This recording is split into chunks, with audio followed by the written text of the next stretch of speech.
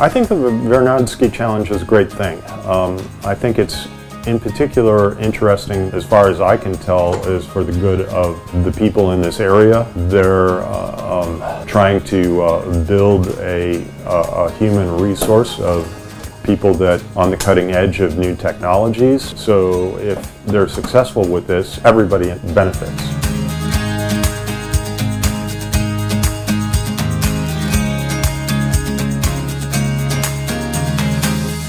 Мы продолжаем это проводить э, не ради тех компаний, которые выиграли и будут перед вами представлять сейчас там 10 своих проектов и так далее. Мы это делаем для того, чтобы те, кто сейчас в зале, у которых есть идеи, у них появилась надежда, и они сюда пришли завтра, послезавтра, через три года и так далее. Так или иначе. Мы прокачиваем именно информационно, чтобы люди э, понимали, что успешные примеры есть. Так что спасибо вам. Я надеюсь, мы зажжем ваши мозги немножечко сегодня и буду рад отсидеть через год. Кстати, отбор был нелегкий.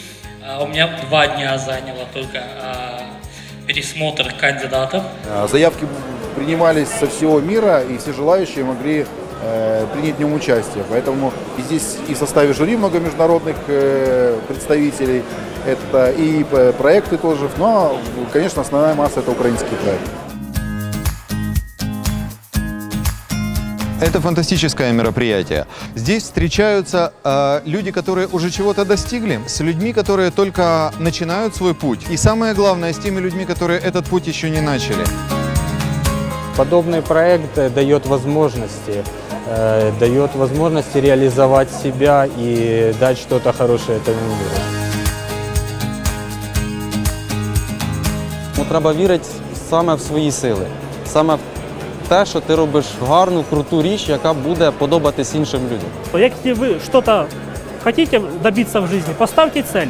Если вы ее поставите, вы можете ее достичь или не достичь. Но если вы ее вообще не поставите, то вы никогда ее не достигнете. Всі ці ідеї, які тут зараз в залі демонструються, вони колись були просто ідеями на дивані або десь там у кав'ярні. Зараз це вже реально можна щось там е, потримати, побачити. Я всегда всем начинающим стартапам даю один совет. Проверьте свою теорию.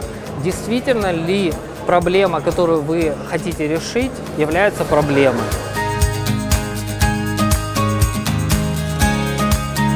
Если у тебя есть собственная идея, с которой ты вот железно знаешь и считаешь, хочешь добиться, тогда вообще не смотреть ни на что, а двигать эту идею.